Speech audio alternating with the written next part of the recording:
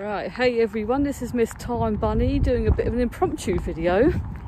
I am currently walking through what I believe used to be like an old scrapyard. Uh, not 100% sure if I'm meant to be on this land, but you know, there was like, let's just say there was a way in due to sort of like bad maintenance. So I'm having a quick cheeky walk round. So yeah, join me, why don't you? And I'm sorry if the audio isn't great. I, as I said, this was impromptu and I haven't got my headset, so I do apologise if sound is bit shit. Alright, this is just a quick overview. That's um, Mountbatten Centre over there. And we've got a big, I don't know if this is a deliberately dug out area or if this was something that like sort of like they dug out and then just happened to fill with water because of rain or whatever else.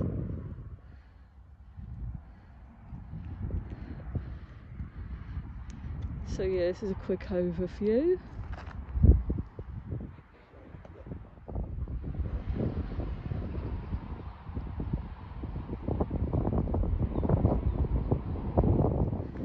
Yeah, it is strange walking around here knowing that once upon a time this was essentially just like a massive scrapyard. And if I, if I remember right, I think there used to be sort of somewhere over roughly in that direction, there was two massive decommissioned submarines. And I think one of them ended up going to a museum, I want to say in Germany. I know it was somewhere in Europe.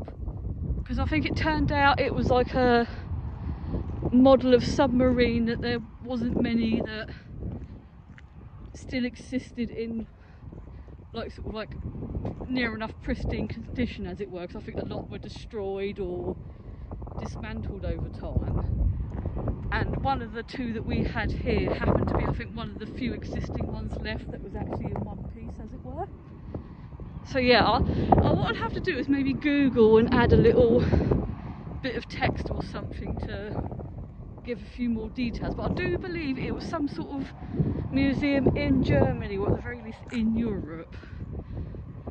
So they took one of these submarines it's now in a museum I do believe. Lots of I'm guessing must be sort of say I don't know if this is like driftwood or just random wood that was like left behind from when the scrapyard was torn down. It looks like just over there that was the original gate in for when the um, site was a scrapyard. Some random containers there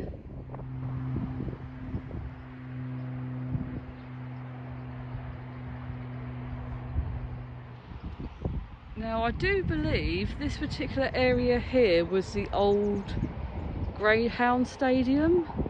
I was looking just over in that direction there.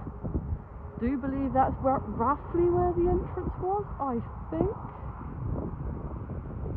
Or at least I think it was over in that direction. And I've noticed obviously the concrete going round sort of that way. It's very overgrown, but you can see some of it of where the, I think the track might have been.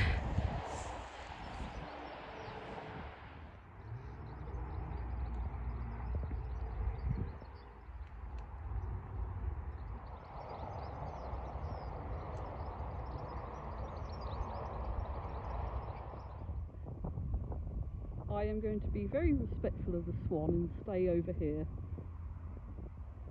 I do believe just over there, I don't know how well you can see, I think its mate might be asleep over there in a nest, so it's like, now we don't want to be messing about with swans.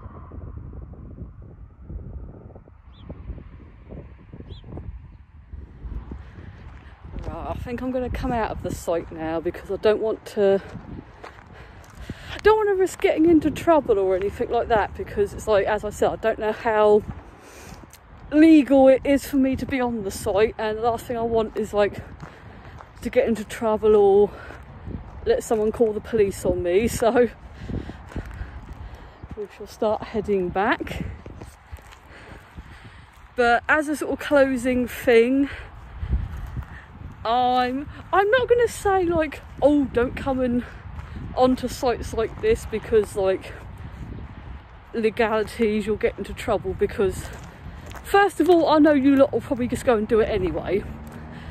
And secondly I'd probably seem a bit hypocritical because I've been a bit cheeky and snuck onto some land myself that I may not necessarily be technically allowed on. So but I would say if you're gonna do it please be incredibly safe. Don't be like me and come and do this on your own preferably bring someone with you.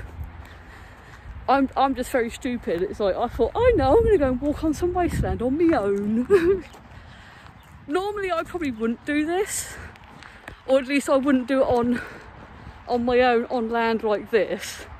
But as I said at the beginning this was more very more of a very impromptu thing and I thought you know what I'm going to take a quick cheeky walk around and have a look and see what's going on well it's been quite interesting because I saw a fox running across the land when I was over behind that big mound there looking at the um, great old greyhound stadium site.